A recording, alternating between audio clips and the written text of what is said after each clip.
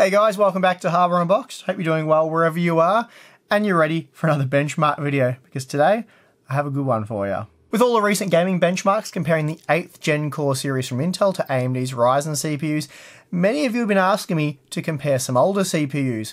In particular, there's been a huge amount of requests for a 4th gen Core i7 versus 8th gen Core i7 tests. So I thought, hey, that's a pretty good idea. Let's do that. So today we're comparing the Core i7 4770K to the new Core i7 8700K in a range of games. But before we get to the results, here are a few notes. There are two unlocked 4th gen Core i7 processors, the 4770K and the 4790K. They are essentially the same CPU and both are based on the same Haswell architecture. The 4770K was released in mid 2013, but with nothing new ready a year later and virtually no competition from AMD, Intel just simply refreshed Haswell by essentially overclocking it and releasing a new range of chipsets. The result for the flagship line was the updated 4790K sporting a 500 MHz overclock, taking it from a base frequency of 3.5 GHz to 4 GHz. Since I am testing both stock and overclock performance, I decided to go with the 4770K as that really is a worst case scenario. If you happen to own either the 4770K or the 4790K, this video should give you a good idea of the gains you'd expect when upgrading to the newly released Core i7 8700K. Actually, the benchmark results should also be quite useful for Haswell Core i5 owners who are considering buying a second-hand Core i7 or just biting the bullet and getting a new 8th gen processor which of course also means upgrading their motherboard and memory. Apart from the small IPC gains Intel's made over the past four years, along with the additional 50% cores and threads, the other big advantage the 8700K enjoys is its support for faster, higher clocked DDR4 memory. Speaking of which, the 4770K will be tested with DDR3 2400 memory, and that affords it a memory bandwidth of around 29GB per second. The 8700K, on the other hand, will be using DDR4 3200 memory, and this allows for a bandwidth of about 42GB per second, providing with roughly 45% more bandwidth. Anyway, there are loads of benchmark results to look at and discuss, but before we do, today's benchmark video has been sponsored by Storyblocks. Storyblocks is an easy, practical way to get quality images for your website, social media, videos, and so on. Get all the stock images you can imagine from Storyblocks, including high quality photos, vectors, icons, and more. Download any of the 400,000 images in their member library and save 60% on marketplace content. All content is royalty free, so it's yours to keep and use forever, whether it be for personal or commercial use. For example, do you need a photo of an IT guy that looks like he's in over his head? Not a problem. What about an IT guy that's one with his surroundings? Also, not a problem.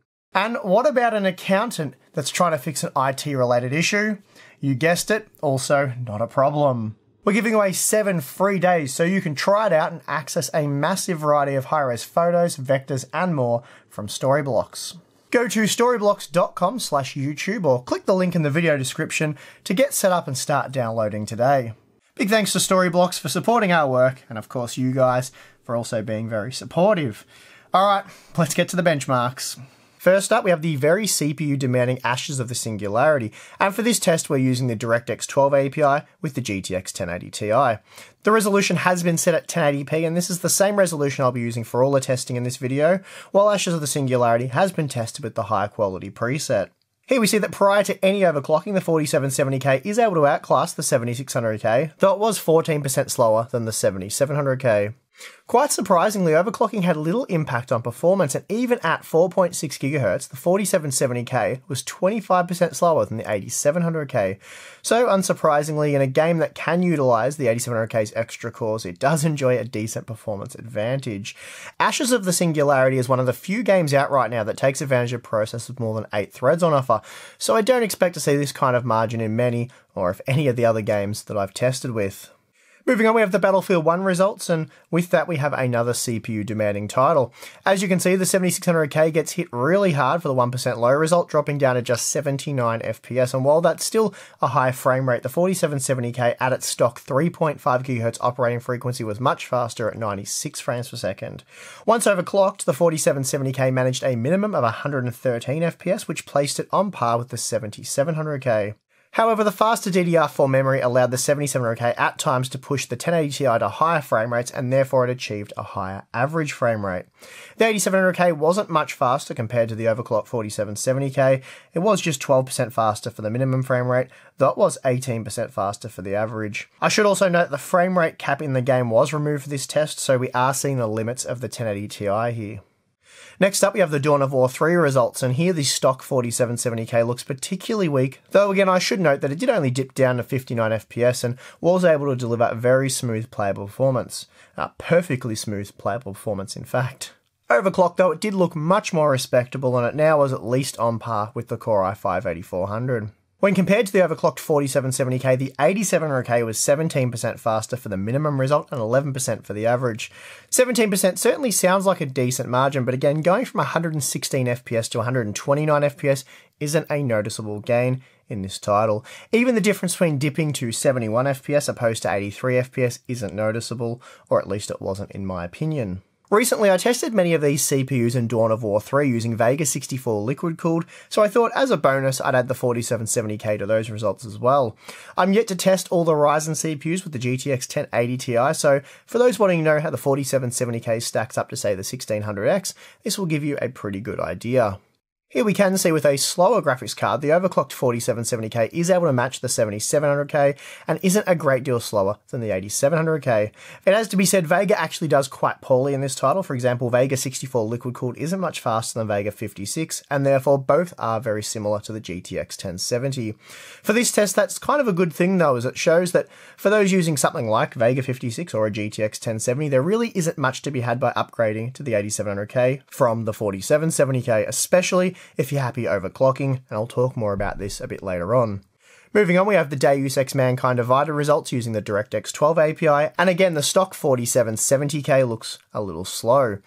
In fact, even once overclocked, it's only just able to edge out the Core i5 7600K, and this meant that the 7700K was 25% faster when comparing the minimum frame rate. That said, the 7700K along with the 8700K hit a GPU bottleneck, and therefore, those gaming at 1440p with the GTX 1080 Ti will likely see no difference between the 4770K and the 8700K, for example, so keep that in mind. With Dirt 4, we see fairly consistent 1% low results with the GTX 1080 Ti across all CPUs tested. So although the 8700K allowed for an average of 196 FPS, this meant that it was still just 8% faster when compared to the overclocked 4770K for the average frame rate and just 6% faster for the minimum. Since even the stock 4770K maintained over 100 FPS at all times, it's fair to say even for high refresh rate gamers, the 8700K offers little to nothing over the 4th gen Core i7, at least in this title. 2017's most optimized and consumer friendly title, Assassin's Creed Origins, has been included in the list of games tested. With more security than the US president, this game eats up threads, and yet despite that, the 4770K isn't much faster than the higher clocked 7600K. Overclocking the 4770K only boosted performance by 10%. I suspect once again we're probably memory limited. Still, when looking at the minimum result, the 8700K was just 8% faster than the overclocked 4770K, so it's hardly going to be a noticeable margin. Moving on, we have Project Cars 2, and this is a fairly CPU demanding racing simulator. Stock the 4770K looks quite slow, it has to be said, though overclocked it is able to match the Core i5 8400 as performance is boosted by around 17%. As a result, the 8700K was just 8% faster for the minimum frame rate in what was a very mild gain. Next up, we have Rainbow Six Siege, and while this is a CPU intensive game, a quad core with 8 threads is more than enough, as demonstrated by the Core i7 4770K. Out of the box, it was comparable to the 7600K, while it edged ahead once overclocked. The 8700K did offer 17% more performance when comparing the minimum frame rate, but with all CPUs pushing the GTX 1080 Ti to over 140 FPS at all times, I'm not sure how meaningful that increase is. Now, for the last two games I've tested with, being Total War Warhammer 2 and Call of Duty World War 2, we're going to look at the performance across three presets being medium, high, and ultra with the GTX 1080 Ti, just for something different. Starting with the medium results, we see something quite interesting. Although the average frame rate is very similar across the CPUs tested, the 1% low result does vary quite a bit.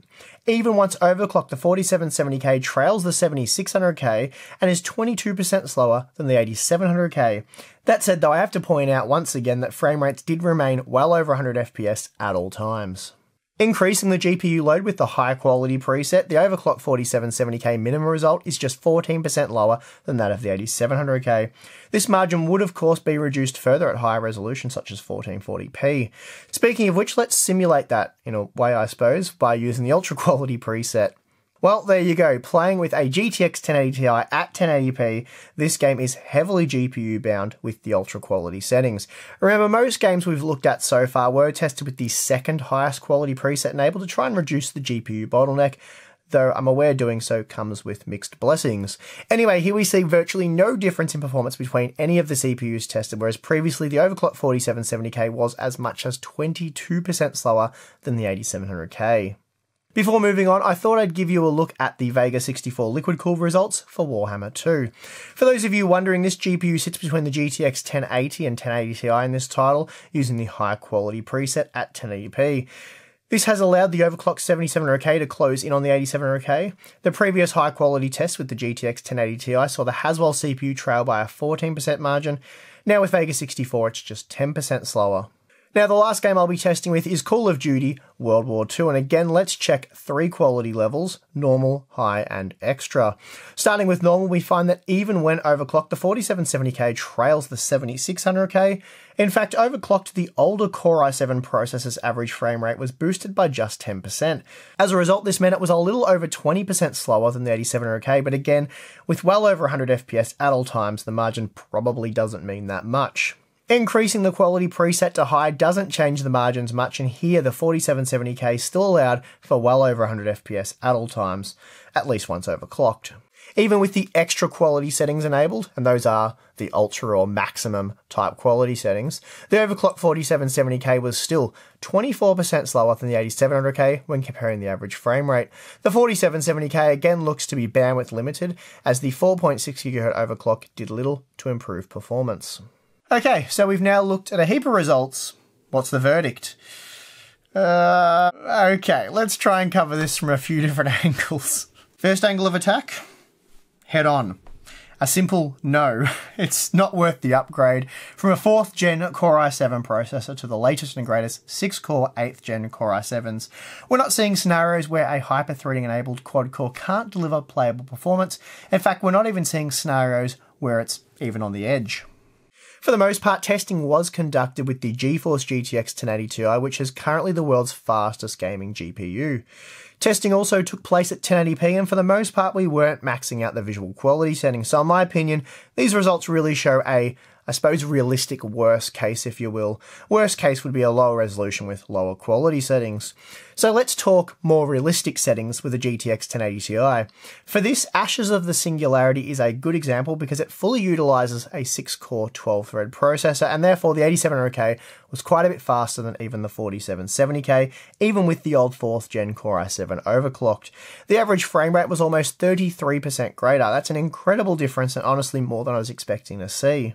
Using the same GPU but now with the extreme quality preset reduces the 33% margin seen previously to just 17%, as we're now more limited by the GTX 1080 Ti. But that's not even the highest visual quality preset. Let's see how things look with the crazy preset. Thanks to the game's ability to really take full advantage of higher end CPUs, the 8700K still comes out on top here, but it is now just 9% faster. This really is a best case result for the 8700K as most titles would see no difference in performance when using maximum quality settings. Take Total War Warhammer 2 for example, using the ultra quality preset completely neutralized the playing field. So while it's easy to get caught up in the CPU limited benchmarks because they do look the most impressive. You do see the largest margins there.